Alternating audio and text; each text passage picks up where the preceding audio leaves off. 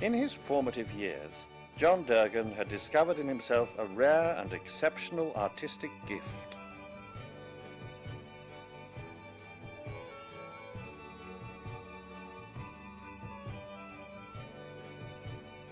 At school, John's abilities flourished.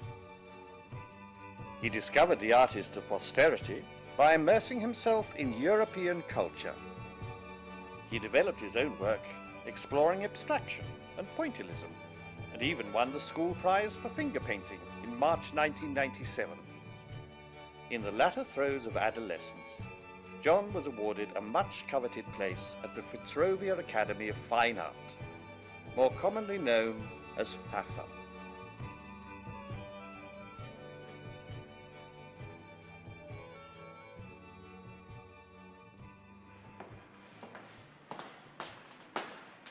I'm afraid we're sticking to our guns, John.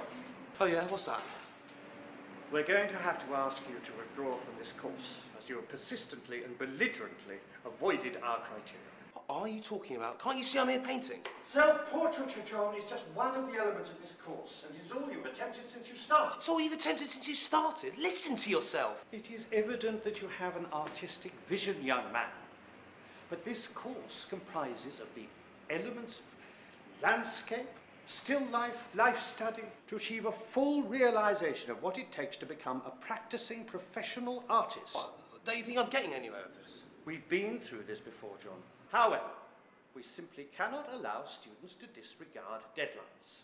I'm afraid we must insist that you do not return after the spring break. Yeah? All right then. I'll do that. Thanks a lot.